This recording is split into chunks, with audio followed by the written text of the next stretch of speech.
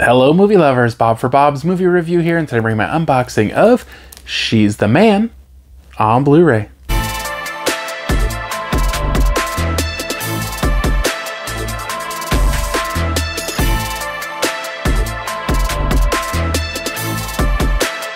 This one will be available for purchase March 2nd, 2021, and was sent to me for review by Paramount Home Entertainment. She's the Man does include Blu ray and digital. First time on Blu ray, Amanda Bynes and Channing Tatum.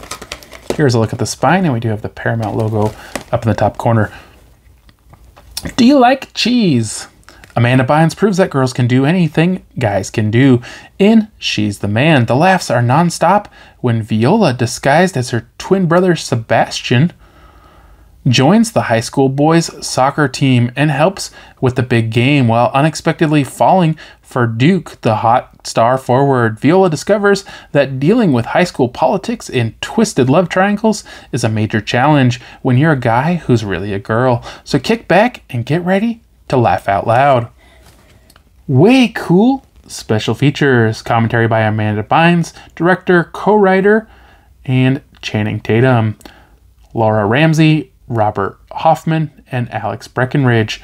Commentary by producer, Making the Man, The Trope, inspired by Shakespeare's, deleted scenes with optional commentary, gag reel, music video, Let Go by Dave Litchens, and theatrical trailer.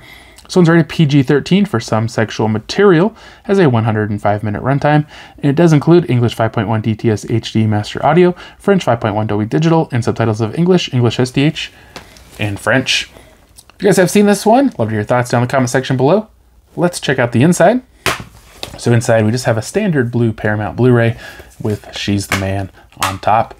Hope you guys did enjoy the video, where you can find more information, including affiliate links to purchase She's the Man down description below. I'll be reviewing this one in my shopping guide and reviews for 3221. If you haven't already, subscribe for more videos, check the chess videos, and I'll see you guys next time.